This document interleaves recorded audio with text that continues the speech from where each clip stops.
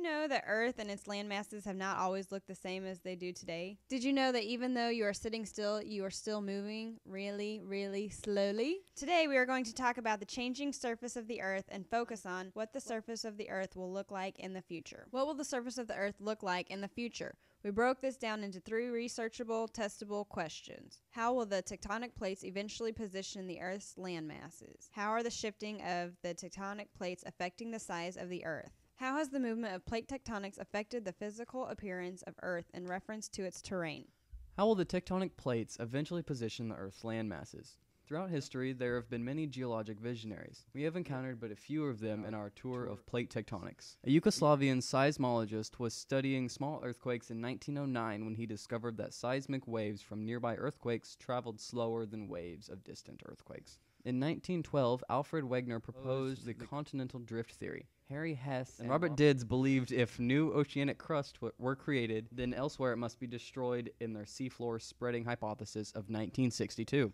Many of the other scientists contributed to the discovery of magnetic stripping, varying sediment thickness, and age dating on the ocean floor. It is only taken together in one grand theory that these individual theories and discoveries provide a unifying framework that enables us to explain rifting of continents to create oceans, the collision of continents to form mountains, and the occurrence of earthquakes and volcanoes along plate boundaries, to name a few. In 1912, Alfred Wegener introduced the first scientific theory stating that the continents are not fixed, but rather they moved to their current locations over hundreds of millions of years and are still moving. He supported his continental drift theory with several lines of evidence, including the distribution of similar fossils and geologic formations across many continents. Still another line of evidence was the apparent puzzle like fit of the South American and African coastlines. The first seed in the theory of plate tectonics actually started in the early 1900s, well before the pattern of earthquake and volcano distributions was noted. Instead, a small group of early scientists was captivated by the complementary shape of the continental coastlines. Alfred Wegener, a German geologist, was consumed with the idea that continents moved to their current locations over the course of millions of years. Formerly, he believed the continents had been one large landmass that he named Pangaea. Eventually, the landmasses will converge into one supercontinent. The introversion model assumes that the oceanic plate between continents that formed when a supercontinent pulled apart has stopped spreading. As such, there is nothing to keep the continents from drifting back together and forming another supercontinent. The extroversion model, on the other hand, proposes that the oceanic plate that formed when a supercontinent pulled apart would keep spreading. The continents then drift away from it, meeting up on the other side of the planet to merge. The new orthoversion model bases its motion of continents on where the edges of past supercontinents were. For instance, when Pangaea broke up, the rim dove or subducted downward into the Earth. This subduction zone, which encircles the Pacific Ocean, is known as the Ring of Fire and is where many of the largest earthquakes and volcanic eruptions now take place. The orthoversion model proposes that the subduction zone surrounding a one time supercontinent drives where its former components end up going. This suggests that modern continents will slide either north or south around the Ring of Fire. Since the Caribbean Sea between the North and South and the Arctic Ocean between the Americas and Asia appear transient in nature. The researchers suggest the Americas and Asia will go north instead of south, meeting at the Arctic to form Amasia. To see which model of the supercontinent cycle might be right, the researchers tried to see which best matched data on how past supercontinents formed. These models show all of the possible outcomes for Earth's future, as the plates are continuously moving about 2.5 centimeters a year to about 15 centimeters a year in some places. How long will it take for the plates to form a supercontinent? How big will the supercontinent be? Will the continents fit together in the same place as they broke apart? How are the shifting of tectonic plates affecting the size of the Earth? The land masses used to be a supercontinent called Pangaea, and now they are separated with oceans between them. However, the oceans and land masses are all still the same size as they once were. The Earth is recycling its crust, therefore, the size of the Earth remains the same. Harry Hess and Robert Dietz hypothesized that if new oceanic crust was created at mid ocean ridges, it must be destroyed somewhere else.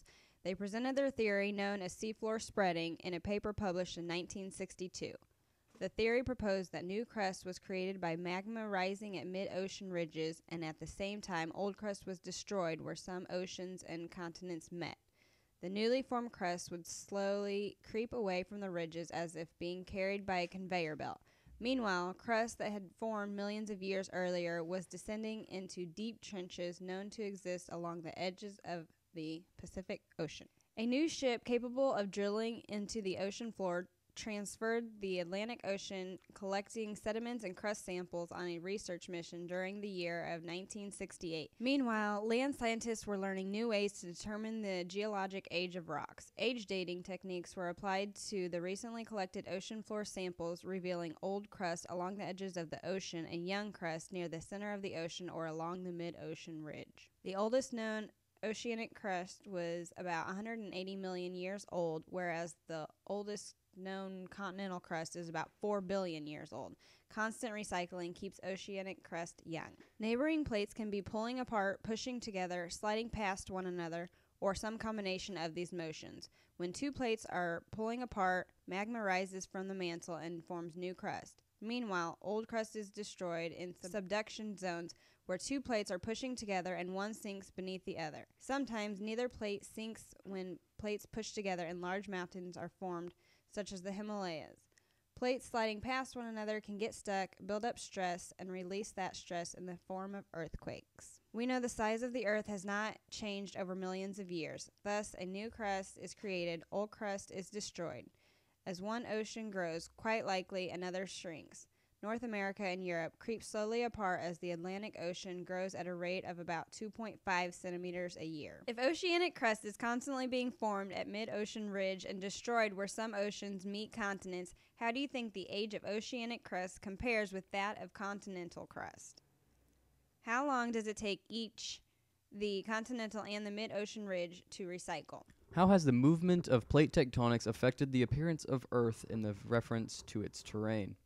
How can we use this to predict the effects in the future? The formations present throughout the planet are a result of shifting tectonic plates. These formations have allowed us to study their movement. Plate tectonics pushing, pulling, and sliding past each other have caused mountain ranges and deep ocean trenches. We've measured the route and speed of the tectonic plates. Therefore, we can infer they will continue this pattern. The Andes Mountains in South America are the world's second highest mountain chain. These mountains formed due to the subduction of the Nazca Plate under the South American Plate along the Peru Chile Trench. A long, deep trench is formed at the boundary between two plates. One such trench is the Peru Chile Trench, where the Nazca Plate is pushing toward and being subducted under the South American Plate along the western coast of South America. The compressive force of two plates pushing toward each other causes some crumpling of the edges of the plates, like when two cars collide. In addition, sediments from the surface of the ocean floor are scraped off as the plate descends and slowly build up over time. The rising blobs of magma erupt as volcanoes, which builds up mountains over time. Those rising blobs of magma oh, heat up plates is also associated with some of the great mountain chains of the earth, including the towering Andes Mountains in South America. Several different forces associated with the boundary work together to build mountains, the area around them, and cause the plate to rise a little, just as the hot magma at a mid oceanic ridge causes it to rise a little. Working together over very long periods of time, these forces gradually build up mountains. Mountain chains formed by subduction at a convergent boundary are referred to as a volcanic arc. A long, deep trench is formed where one oceanic plate is subducted beneath another oceanic plate. They are the same type of lithosphere, unlike the subduction of a dense oceanic plate beneath a less dense continental plate.